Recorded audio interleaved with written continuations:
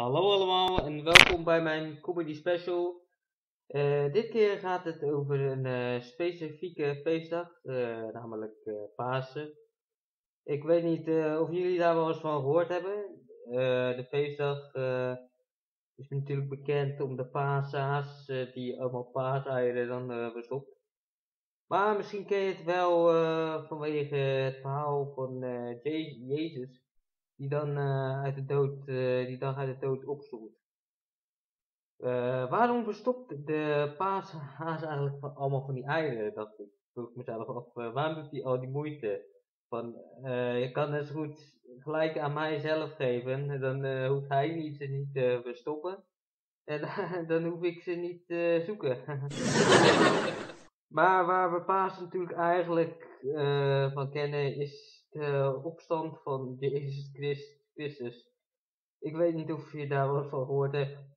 Maar het komt natuurlijk, uh, het komt natuurlijk eerst Goede Vrijdag. En, uh, ik weet niet waarom, de, waarom heet het eigenlijk Goede Vrijdag. Want elke vrijdag vind ik een Goede Vrijdag. Uh, want de, is de dag voor het weekend en ben je altijd, is altijd wel mooi.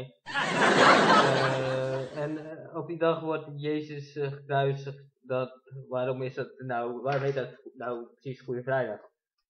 Uh, maar vroeger werden uh, mensen uh, vroeger gekruisigd. Want blijkbaar had je toen nog geen ta taakstraf van die drie dagen. En, en, na drie dagen stond Jezus toen op uit de dood. maar dat duurde denk ik drie dagen, omdat Jezus ook nog even zijn weekend wou vieren. dat verhaal kennen we allemaal natuurlijk dat is uh, misschien allemaal, uh, we leren daaruit dat het allemaal wel eens iets misgaat in het leven en dat we daarna nog uh, weer op kunnen staan uit de dood. Niet, niet uit de dood dat wij op kunnen staan, maar dat we het weer goed, dat als we een obstakel hebben, dat we weer dan het kunnen verbeteren. uh, maar, uh, maar Pasen, waar natuurlijk veel mensen dan ook aan denken, dan op het Pasen wordt het ook lente en dan is het mooi weer, de zon gaat weer schijnen. Dan planten en bomen en dieren gaan weer groeien.